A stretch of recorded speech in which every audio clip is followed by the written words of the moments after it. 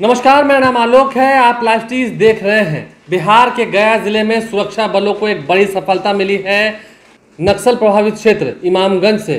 ए के सैंतालीस और ए के छप्पन की बरामदगी हुई है। इसके साथ साथ कई ज़िंदा हथियार जो है, वो बरामद किए गए हैं, कई ज़िंदा कारतूस जो है, वो बरामद किए गए हैं। लेकिन ए के सैंतालीस मिला है, काफ़ी दिनों के बाद बिहार में ए के फिफ्टी सिक्स भी मिला है, यानी कि ए के छप्पन भी मिला है बिहार के इमामगंज में। तस्वीर देखिए, गया ज़िले के इमामगंज क्षेत्र में, जो कि नक्सल प्रभावित क्षेत्र है, वहाँ पर सुरक्षा बलों को बड़ी सफलता मिली है। एक नक्सली को भी गिरफ़्तार किया गया है। इमामगंज की तस्वीर निकल के आ रही है, जहाँ पर आप देख सकते होंगे ए के छप्पन व ए के समेत एक नक्सली की गिरफ्तारी हुई है। कई अग्नियास्त्र भी जो है वो बरामद किए गए हैं। तो अब ऐसे में जो गया की एसएसपी हैं हरप्रीत कौर, वो पूरी बातों को रख रही हैं। नक्सली को तो आप देख ही रहोगे मुँह ढका गया उसका। और ये हथियार, इससे आप समझ सकते हैं कितना नुकसान पहुँच सकता था, कितनी वारदात को अंजाम दिया सकता था, लेकिन सुरक्षा बलों को बड़ी सफलता मिली है। सीआरपीएफ ने भी इसको लेकर अपना बयान जारी किया है। क्या कुछ हरप्रीत कौर कह रही हैं, ज़रा सुनिए। ये देखिए, कल इन्फॉर्मेशन मिला था मुझे कि कुछ जो नक्सली हैं, वो थाना इमामगंज अंतर्गत ग्राम दुख्तपुर में कुछ लोग जमा हुआ, होने की सूचना थी। तो उसी में टीम यहाँ से गठित किया गया सिटी एसपी के नेतृत्व में, जिसमें एसडीपीओ इमामगंज थे, एसएचओ इमामगंज थे और तकनीकी शाखा के हमारे लोग थे। साथ में एसएसबी के यूनिट्स थे, एसटीएफ था। इन लोगों ने रेड किया और साथ में फिर वहाँ पे सीआरपीएफ ने भी ज्वाइन किया। तो सभी का एक जॉइंट ऑपरेशन हुआ वहाँ पे।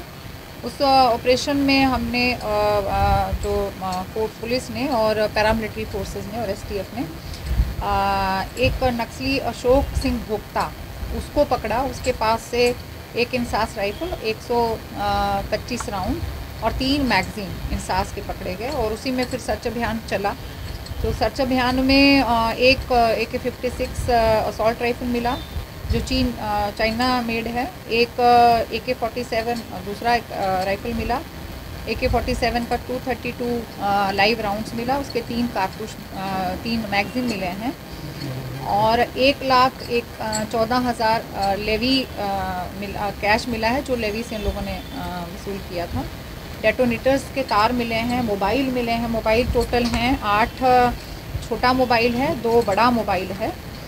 और हार्ड डिस्क मिला है बैटरी मिला है मेमोरी कार्ड मिला है डायरीज़ मिली हैं और और भी बहुत सारा सामान बरामद हुआ है। तो उसमें काफ़ी सफल ऑपरेशन रहा है कल का। इसमें जो नक्सली पकड़ा गया है, बाकी भी सामान जो यहाँ पे मिला है, उसका लिस्ट आप लोगों को दिया गया प्रेस विज्ञप्ति में, जिसमें इसका टैब भी है एक थ्रू है पॉकेट डायरी है फोल्डिंग चाकू है मेमोरी कार्ड है, पिट्ठू बैग है बैटरी है, जो मैंने आपको बताया। ये जो नक्सली पकड़ा गया है, इसका क्रिमिनल हिस्ट्री अभी तीन केसेस अभी हमारे पास हैं, बाकी भी जो है क्रिमिनल हिस्ट्री हम और इकट्ठा कर रहे हैं। डुमरिया में दो केसेस हैं इस पर जिसमें नेम्ड एक्यूट है और मदनपुर, औरंगाबाद में इसके ऊपर एक केस दर्ज है यू के अंतर्गत ही। तो ये काफ़ी एक्टिव नक्सली था वहाँ पे, और काफ़ी केसेस में वांटेड था। तो अभी तक तो यही है लेकिन बाकी और भी हम लोग इन्फॉर्मेशन बाकियों के बारे में एकत्रित कर रहे हैं। पार्टी में क्या रैंक था इनका? ये एक दस्ता बनाया हुआ था दस्ता का ही एक मेंबर था तो दस्ते इन लोगों के अलग अलग दस्ते काम करते हैं सब जगह पे जो पता चला है अभी तक इसके इंटेरोगेशन में। तो उसी दस्ता का एक ये मेंबर था और ये पिछले तीन चार साल से सक्रिय था। किस क्षेत्र में एक्टिव थे ये ये वहाँ पे काफ़ी नक्सलियों की थी तकरीबन आधा दर्जन से ऊपर की सूचना थी। आ, उसका भी हम लोग अभी और जानकारी इकट्ठा कर रहे हैं। आ, ये लुटुआ चक्करबंदा इधर जो हमारा गया औरंगाबाद बॉर्डर है इसी में मेन ये लोग सक्रिय थे। किस संगठन से ये लोग जुड़े हुए थे सर? अंजाम दिया हो। हाँ बाकी लोग अभी फरार हैं उसके लिए भी हम लोग अभी अभियान चलाएँगे। और ये जैसे मैंने बताया कि तीन केसेस अभी जो आए हैं जिसमें ये संलिप्त रहा है तीनों में नेम्ड एक्यूज है। बाकी और भी क्रिमिनल हिस्ट्री हम लोग इसका इकट्ठा कर रहे ये कार्रवाई कब की गई? आज या कल शाम? ये कल शाम की कार्रवाई है कल रात की। किस संगठन से ये जुड़े हुए थे ये नक्सल्स ही हैं माओइस्ट हैं। नक्सल में बहुत सारे उस क्षेत्र में काम करते हैं। किस संगठन से? भाकपा माओवादी थे या फिर और हाँ भाकपा मोनवार में जो चार लोगों की हत्या हुई जिसमें शामिल है उसका भी हम लोग इससे पूछताछ कर रहे हैं लेकिन उसके बारे में भी इसने इन्फॉर्मेशन दिया है कि कौन कौन लोग उसमें एक्चुअल में कैसे प्लान हुआ था वो जानकारी मिली है। अभी दो दिन पहले भी मैं गया और झारखंड की औरंगाबाद की बॉर्डर पे भी गोलीबारी हुई थी जिसमें भारी संख्या में बरामद किया गया था हथियार। उसमें भी संलिप्तता थी क्या? आ, उसमें भी इसने बाकी लोगों के नाम बताए हैं जो लोग उसमें शामिल हैं। और आ, आ, उसमें भी अभी बहुत अच्छा ऑपरेशन वो वाला भी रहा उसमें भी काफ़ी अच्छी बरामदगी हुई है फोर्सेस के द्वारा। आ, बाकी इसका एरिया का जो है कि हम लोग इस पूछताछ अभी कर रहे हैं कंप्लीट अभी हमारे पास पूरी जानकारी भी एकत्रित नहीं हुई हो पाई है अभी इंटेरोगेशन इसका चल रहा है।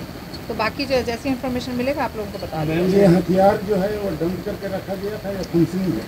नहीं ये फंक्शनिंग हथियार है लोडेड था। लोडेड हथियार था फ़ंक्शन है प्रॉपर वर्किंग हथियार है। मैम ये अशोक सिंह भोक्ता कहाँ का रहने वाला है? ये लुटुआ का रहने वाला है। तो जिसके घर से कोठेलवा गाँव है इसका ये है ये पिता जगतलाल भोक्ता ग्राम कोठेलवा थाना बांके बाज़ार जिला गया। तो ये किसी घर से बरामद हुए हथियार या कहीं और से? हाँ घर से। घर से? किसके घर से बरामद? वहीं पे उनके एक्सपोर्टर हैं लालो देवी करके उसके घर से मिले हैं। वो हिरासत में नहीं वो अभी भाग गई है। वो भाग गया। ठीक है। तो हरप्रीत कौर गया की एसएसपी हैं, क्या कुछ वो बता रही थी? उन्होंने तमाम बातों का ज़िक्र किया है, सभी हथियारों को दिखाया है, जो हम आपको दिखा भी रहे हैं। सोचिए, एक के छप्पन मिला है, एक के सैंतालीस मिला है, नक्सली मिला है। और अब उससे पूछताछ की जाएगी, पुलिस से पूछताछ में उम्मीद है, उसके ठिकानों के बारे में जानकारी होगी, और जो उसके सहयोगी हैं कहाँ कहाँ छुपे रहते हैं, उसके बारे में जानकारी होगी। तो सुरक्षा बलों को एक बड़ी सफलता जो मिली है, एक के छप्पन मिला है काफ़ी दिनों के बाद बिहार में, उस ए के छप्पन से तड़ातर गोलियाँ भी चल सकती थी, लेकिन अब सुरक्षा बलों को जब सफलता मिली है तो उम्मीद है इस नक्सली के कड़ी को जोड़ते हुए उन्हें आगे और सफलता मिल सकेगी। हरप्रीत कौर ने क्या कुछ कहा? हमने आपको सुनाया है। हमारे चैनल को सब्सक्राइब कर लें। साथ साथ फेसबुक पेज भी लाइक करें। धन्यवाद।